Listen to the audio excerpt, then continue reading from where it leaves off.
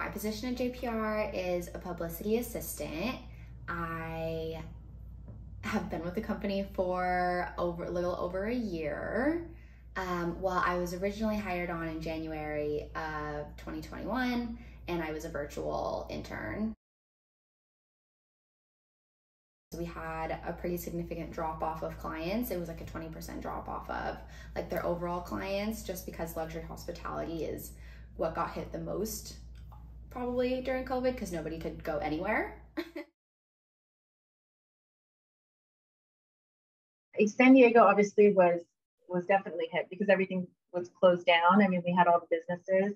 Um, I could speak more about our property. It was actually very unique in that um, where we are is, is really helpful because we're in Coronado.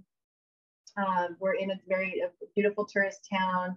We did have San Diego weather going for us, um, but no, it's you know I think San Diego is recovering faster than probably most places. But yeah, Coronado itself, I think we we've recovered really fast. We're actually doing pretty well.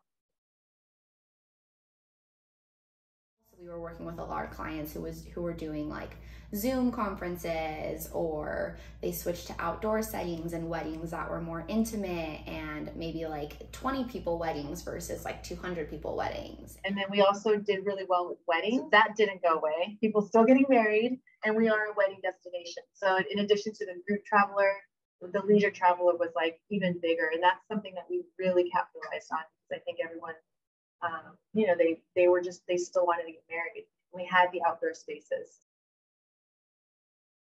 But in San Diego, I do think that travel is back, and all of our clients are, you know, if not exceeding, already out where they were before COVID. So I think it's in a good spot.